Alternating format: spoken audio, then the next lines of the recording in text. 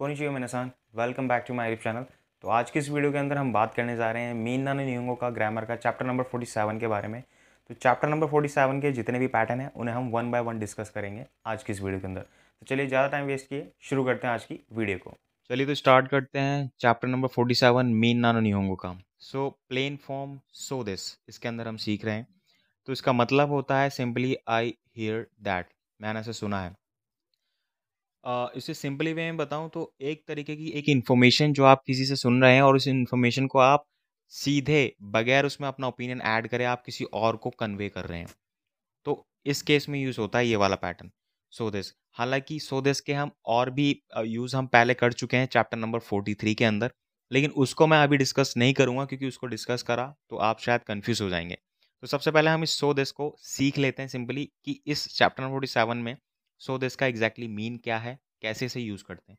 चलते हैं पहले सेंटेंस की तरफ़। तो पहला है तेंकियो हो योरुतो आश्तावा आमेगा फुरुसोदिस। तो ध्यान रहे जब आप यहाँ पर तो आपने मेंशन करा है हमने मेंशन किया है कि भाई वेदर फोरकास्ट के अकॉर्डिंग नियोरु तो होता है अकॉर्डिंग टू। जब आप आ, किसी रिसोर्ट कोई सोर्स ऑफ़ इन्फॉर्मेशन को ऐड करके सेंटेंस बताते हैं तो आप नियोरु तो लगाएँगे। जैसे according to the weather forecast it will be raining tomorrow ठीक है? तो मौसम विभाग के अनुसार कल बारिश होगी। ये हमने बताया। इसके अंदर हमने अपना कोई भी ओपिनियन ऐड नहीं किया है। सेकंड हो गया मारिया सांवा आश्ता Goa इकुसोदिस। So I hear that miss Maria is going to Goa tomorrow मैंने ऐसा सुना है कि मारिया सान जो है वो मिस मारिया जो है वो गोवा जा रही हैं। अब मारिया सान के मुँह से सुना है या किसी और सोर्स ऑफ़ इंफॉर्मेशन के मुँह से सुना है तो ये सुन करके मैंने बताया सिंपली अब ये वाला पैटर्न जो है हमने मारिया सान वाली यूज़ करा है इस पैटर्न को हम एक और पैटर्न से कह सकते थे, जो हम ऑलरेडी पढ़ चुके हैं लेसन नंबर थर्टी थ्री के अंदर। जैसे मारिया सानवा, आज तक गोवा है इकू तो इतने ही मस्ता miss Maria said that she is going to Goa tomorrow तो ऑलमोस्ट सिमिलरिटीज़ है, आप ऊपर वाले में देखेंगे। यहाँ पर हमने इकू सो दस लगाया है। तो इस केस में भी हमने क्या बताया कि मारिया सान जो है गोवा जाएँगे, ऐसा मैंने सुना है।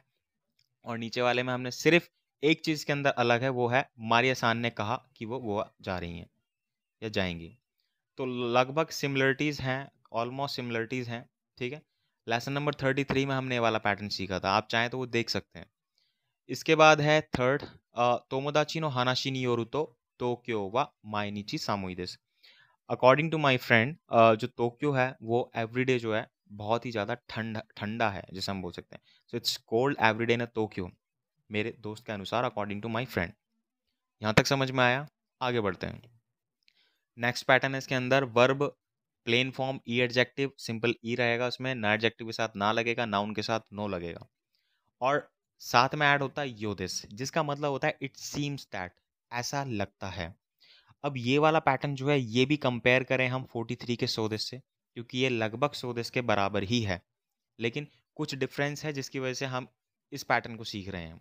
पहले मैं इस पैटर्न को सिखाता हूँ, बाद में कंपेयर करके दिखाऊँगा इन दोनों पैटर्न्स को सो दिस के साथ चैप्टर नंबर फोर्टी थ्री वाले के साथ। तो योदिस जो यहाँ पर हम यूज़ कर रहे हैं, हम ये पैटर्न तब ऐड करते हैं, ये यो तब योदिस तब ऐड करते हैं जब हमारे पास एक स्ट्रॉन्ग बेस ऑफ़ इंफॉर्मेशन होता है किसी भी बात के लिए। हालाँकि हम सेंटेंस इसी तरीके से बोलते हैं कि ऐसा लगता है। फिर भी हम योदिस इसलिए लगाते हैं क्योंकि हमारे पास लिटिल बिट हम कह सकते हैं सोर्स ऑफ़ इंफॉर्मेशन है, हालाँकि वो हंड्रेड परसेंट है ये बात सही नहीं है, लेकिन हाँ हमारे पास एटलीस्ट एक सोर्स ऑफ़ इन्फॉर्मेशन है, जिसके आधार पर हम ऐसा बात, ऐसी बात कह सकते हैं।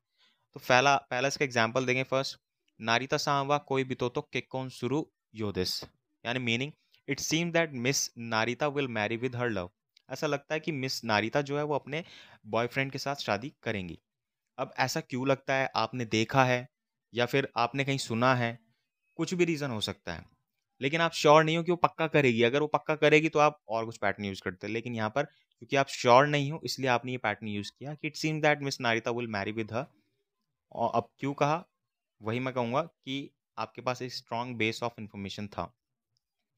सेकंड देखें रामसान व आश्ता रूसुनो योदेश जो रामसान है, वो कल अपने घर पर नहीं होंगे, घर से बाहर होंगे।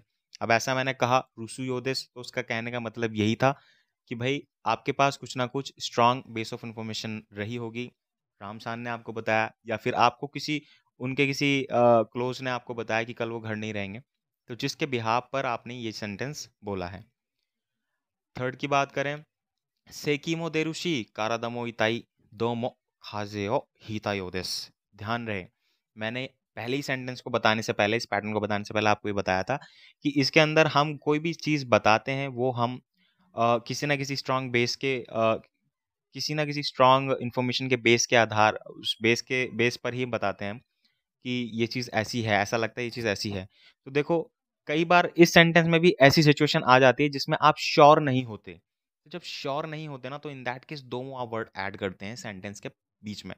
जैसे सेक्यू सेकी मोदेरुशी अब मुझे बात करें तो मुझे कफ भी है एंड मेरी बॉडी भी पेन कर रही है। अब लेकिन I it look like I have got cold like it look like that I have caught cold अब मैं ये बात कहूँ कि भाई मुझे जुकाम हो गया है, इस बात की श्योरिटी नहीं है। मुझे कफ है, मेरी बॉडी में पेन है, लेकिन अब मुझे सर्दी हो गई है, इस बात की श्योरिटी नहीं है। मुझे पक्का नहीं पता कि मुझे सर्दी हो गई है या नहीं। तो इसीलिए जब श्योरिटी ना हो, तब हम यूज़ करते हैं दोमो, ठीक है? नॉट सर्टेन जब आप निश्चित ही ना, निश्चय ही ना हो किसी चीज़ के बारे में तब यूज़ करेंगे इस पैटर्न के अंदर हम दोमो को। इस चीज़ को आपको थोड़ा सा ध्यान देने की ज़रूरत है। बाकी पैटर्न बहुत सिंपल है। चलिए, यहाँ तक समझ में आया। इसके बाद हम देखते हैं इसके कुछ और एग्ज़ाम्पल, ना एडजेक्टिव और नाउन के कुछ सेंटेंसेस। तनाका सान व काइमोनो शुरू तो की, का दो दाके सुकाते मास। तनाका सान जो है, शॉपिंग के टाइम पे कार्ड ही सिर्फ़ यूज़ करते हैं। तो बेंडी ना दिस सो it seems it is convenient for him अब इसमें ऐसा क्यों कहा गया? क्योंकि अब हमने देख लिया है आँखों से। रीज़न ये था, base strong base of information यही था कि वो हमेशा शॉपिंग के टाइम पे कार्ड यूज़ करता है। कन्वीनियंट है, इसीलिए वो यूज़ करता है, इसलिए हमने ये सेंटेंस पैटर्न यूज़ किया है। फोर्थ है, कोबे सा व इसोगाशी सोदेस। तो जो कोबे हैं, मिस्टर कोबे जो हैं, वो बिज़ी लगते हैं। ऐसा लगता है वो बिज़ी हैं। क्यों बोला मैंने? हो सकता है, मैंने उन्हें देखा है, वो सुबह से काम कर रहे हैं, या हो सकता है मुझे किसी ने बताया उनके बारे में। तो कुछ ना कुछ मेरे पास इन्फॉर्मेशन रही है, जिसकी वजह से मैंने योदिस लगाया। अगर मैं यहाँ पे योदिस की जगह सो दिस लगा देता तो उस केस में इसोगाशी का ई हटाना पड़ता और सो दिस लगाता। तो ये सिंपली होता कि मैंने सामने वाले पर्सन के बिहेवियर को और उसे देख करके सिर्फ़ जज करके अपना जजमेंट बता दिया, ऐसा लगता है वो बिज़ी हैं। लेकिन सोदेस और योदेस में फ़र्क यही है सोदेस थोड़ा हल्का होता है लाइट होता है कंपैरिजन ऑफ़ योदेस योदेस जब आप बोल रहे हो तो इट मीन्स ज़्यादा हायर प्रोबेबिलिटी है कि वो बिज़ी होंगे। और सोदेस में इतना कंपलसरी नहीं कि वो बिज़ी ही हो हो सकता है वो फ्री हो, कुछ और कर रहे हो, लेकिन मुझे लगा वो बिज़ी हैं। ठीक है? इसके बाद चलते हैं फिफ्थ अकाचांगा नाइते मस मिर्कुगा होशियो this so the baby is crying it seems like he wants milk बच्चा रो रहा है। लगता है कि उसे दूध चाहिए, या वो दूध चाहता है, दूध पीना चाहता है। तो इस तरीके से थे इनके जो इस चैप्टर में यूज़ हैं, वो कुछ इस तरीके से थे। अब मैं आपको ले चलता हूँ लास्ट कंपैरिजन वाले पोर्शन पे। मैंने आपसे कहा था स्टार्टिंग में कि मैं आपको इस 43 वाले सोदिस को और 47 वाले सोदिस को हम कंपेयर करेंगे बाद में। तो अब वो टाइम आ गया है। तो देखिए सबसे पहले लेसन नंबर 43 में हमने पढ़ा था सोदिस अगर आप लेसन नंबर 43 के सोदिस को देखना चाहते हो, ऊपर जाके आई बटन पे क्लिक करके वहाँ से आप सोदिस देख सकते हैं। और वो आपको देखना भी ज़रूरी है, क्योंकि वहाँ पर हमने जो सोदिस पढ़ा था वो कुछ इस तरीके से पढ़ा था कि वहाँ पर हम वर्ब की मास फॉर्म को हटा करके सोदिस ऐड कर रहे थे। लेकिन 47 में हमने ये पढ़ा कि भाई वहाँ पर हम प्लेन फॉर्म में कन्वर्ट करके सोदिस ऐड कर रहे हैं। तो पहला डिफरेंस तो ये आ गया इन दोनों में।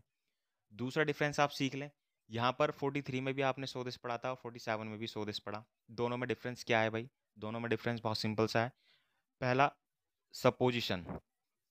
जो 43 में आपने सोदिस पढ़ा था वो सपोजिशन के लिए यूज़ होता है, यानी कि एक अंदाज़ा। किसी पर्सन के बिहेवियर को देख करके, या आपने कहीं कोई चीज़ देखी और सिर्फ़ उसे जज किया अपने आप से और जज करके आपने वो चीज़ बोल दी तो ये उस केस में यूज़ होता है। वहीं दूसरी तरफ़ जो हमने यहाँ पर सो दिस पढ़ा है प्लेन फॉर्म वाला, डिक्शनरी फॉर्म वाला, वो क्या होता है, हम कन्वे करते हैं इन्फॉर्मेशन को which receive from another source, जो हमें किसी दूसरे सोर्स से मिली है, उसको कन्वे करने के लिए हम यूज़ करते हैं। तो दोनों में डिफरेंस है और डिफरेंस आप काफ़ी देख सकते हैं यहाँ पे। यहाँ पर आपने अंदाज़ा लगाने के लिए यूज़ किया था सोदेस और यहाँ पर आपने कोई चीज़ को कन्वे करने के लिए यूज़ किया। अब जो भी चीज़ आप, जो भी इन्फॉर्मेशन कन्वे कर रहे हो, वो एज इट इज़ कन्वे कर रहे हो, उसमें आप कोई भी अपनी तरफ़ से ओपिनियन ऐड नहीं कर रहे हो। तो ये तो पहला मेजर इसमें डिफरेंस है, ठीक है? पहले वाले शो इसमें फोर्टी थ्री वाले में और फोर्टी सेवन के जो हमने फ़र्स्ट पैटर्न पढ़ा था, उस शो में। इन दोनों में डिफरेंस ये हो गया। तो इसमें कोई भी ऐसा कन्फ्यूज़न का पॉइंट ही नहीं बचता, क्योंकि दोनों अलग अलग अलग अलग जगह पर यूज़ हो रहे हैं। अब हम बात कर रहे हैं फोर्टी थ्री का सो दिस का दूसरा पैटर्न और लेसन फोर्टी सेवन का दूसरा पैटर्न तो वहाँ पर हमने पढ़ा था लाइक आमेगा फुरी सो दिस हालाँकि है तो ऑलमोस्ट सिमिलर ऊपर और नीचे दूसरा आई uh, मीन mean, दो मैंने एग्ज़ाम्पल लिए यहाँ पे. तो यहाँ पर भी फुरी मास में मास रिमूव कर दिया फुरी सो दिस कर दिया. It look like will rain ऐसा लगता है कि बारिश होगी मौसम को देखा मौसम को देख के जज करके हमने बोल दिया कि बारिश हो सकती है. लेकिन आमेगा फुरू योदिस जब हम लगाएँगे ना तो इन दैट केस हमारे पास कोई स्ट्रांग बेस ऑफ़ इन्फॉर्मेशन रहा होगा, जिसकी वजह से हमने योदिस लगाया। ये डिफरेंस आपको समझने की ज़रूरत है। सोदिस लगा रहे हो तो इट मीन्स वो आपने अपने आप से जज करके वो चीज़ बताई कि ऐसा हो सकता है कि ऐसा हो। ऐसा लग रहा है कि बारिश हो, लेकिन अगर आपने आमे का फ्रू योदिस लगाया, डिक्शनरी फॉर्म के साथ योदिस लगाया तो इट मीन्स आपने वो चीज़ कहीं सुनी है, कहीं पढ़ी है, कुछ ना कुछ आपका strong like strong information base रहा होगा, जिसकी वजह से आपने योदिस लगाया।